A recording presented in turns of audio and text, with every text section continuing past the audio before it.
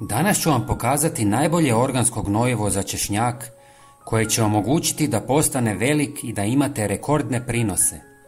Češnjak preferira blago kisela i neutralna tla, a najbolje uspijeva u dobro dreniranoj i rahloj pjeskovitoj ilovači. Ima visoku potrebu za dušikom, posebno u ranim fazama rasta, pa se obično primjenjuju gnojiva s visokim sadržajem dušika. Prvi sastojak su ljuske od jaja. Iako se često bacaju kao otpad, pravo su blago za vaše biljke.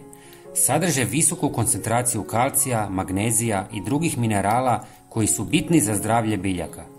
Usitnite ih na male komadiće, zatim ih stavite u mlinac i sameljite.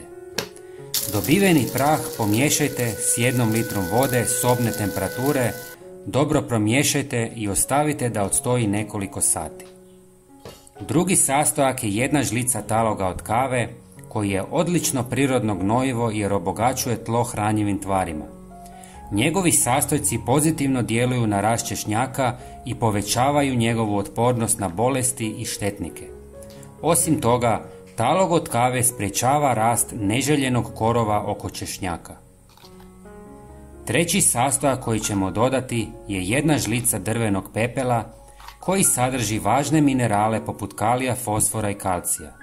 Drveni pepeo može poboljšati pH vrijednost tla i potaknuti zdrav rast češnjaka i ostalih biljaka, a također djeluje kao prirodni repelent protiv puževa.